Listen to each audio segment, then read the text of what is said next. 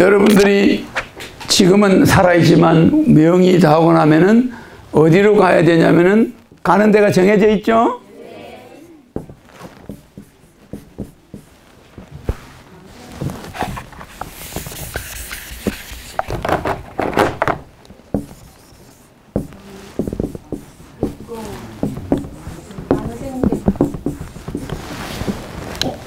어디로 가서 태어난다고요? 백궁으로 가서 왕생 극락이 아니라 왕생 백궁이야. 불교에서는 이걸 왕생 극락이라 그러죠. 극락이라는 말은 에, 잘못된 거야. 낙이라는 것은 깡패들이 추구하는 게 낙이야.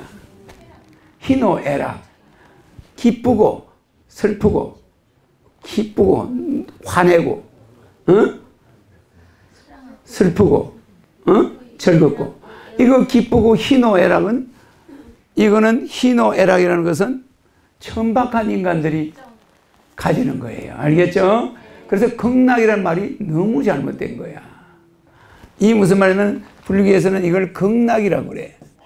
극이라는 거는 아주 극도로 즐거운 거죠? 이건 마약을 먹었을 때 가능한 거야. 마약을 먹으면 극도로 즐거워.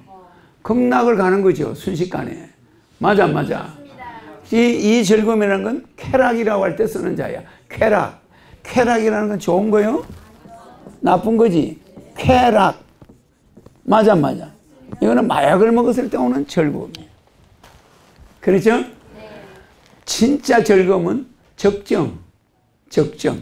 적정이라는 건 고요하다. 그죠? 고요하다.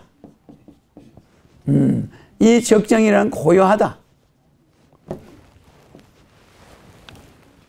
이거는 열반 적정. 그러니까 진짜 좋은 곳은 낙이라는 숫자를 안 쓰고 무슨 자를 써요? 기쁠 희자. 알겠어요? 희열. 기쁠 희자. 기쁜 거하고 즐거운 거는 달라요. 그래서 극락이라든지 쾌락이라는 거는 낙자라는 건 남의 것, 남과 비교했을 때 즐거운 거. 알겠죠?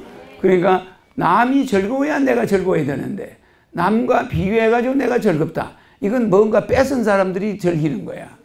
그래서 특권층들이 즐기는 걸 쾌락이라고 그래. 알겠죠?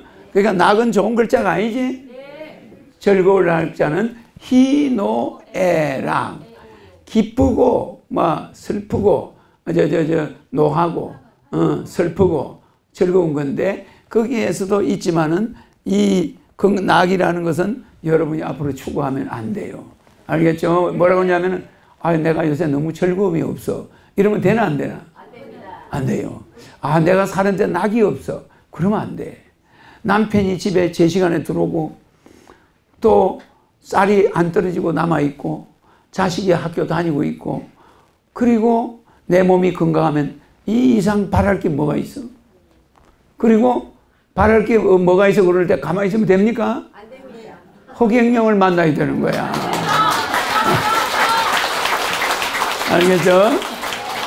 그러니까 염라대왕이 여러분 불기에서 나오는 이야기야. 염라대왕 앞에 어떤 사람이 왔는데 아, 너 어디로 가고 싶냐 그러니까 아, 초가상간 집이라도 좋으니 마누라하고 처자식하고 농사 지면서 편안하게 즐겁게 살 수 있는 곳이면 좋겠습니다. 딱 그러니까 염라대왕이 오케이 하고 보내줍니까? 야 그런 데 있으면 나 염라대왕 그만두고 거가 있겠다. 야 무슨 말인지 알죠? 그 염라대왕 하는 말 뜻은 뭐냐? 네가 초가상간에 가서도 편안하지 않다. 너희 마누라가 애 낳을 때 네가 그 애를 받아야 돼. 그래 안 그래요? 아무도 없어 산골짜기에. 그래 네가 그 애 낳는 마누라 애 한번 받아봐. 그러다 애 죽으면 어떡해? 마누라 죽으면 어떡해? 공포가 몰려와. 그래 안 그래요?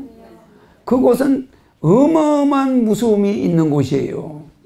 말로는 아 뭐 초가상간 있고 조용하고 농사는 있고 뭐 처자식하고 편안하게 사는 곳이 있으면 좀 보내주세요. 야 그런 데 있으면 내가 가지 염라대왕 뭐하고 앉아있냐. 그 말이 일리가 있는 거야. 거기 가면은 거기는 온갖 고통이 있어.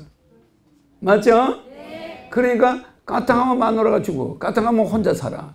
까딱하면 애하고 둘이 살아야 돼. 애는 태어났는데 엄마가 죽어버려. 그냥 이렇게 평범한 것 같은 그런 행복은 찾기가 어려워. 그래, 안 그래? 맞아, 맞아요. 그런데 여러분들이 이 지구를 졸업하고 백궁으로 가는 것은 그보다 더 즐거운 일이 있을 수 있나 없나? 근데 그 에너지를 실제 가지고 온 자를 가짜로 만난 게 아니야. 실제 만난 거야.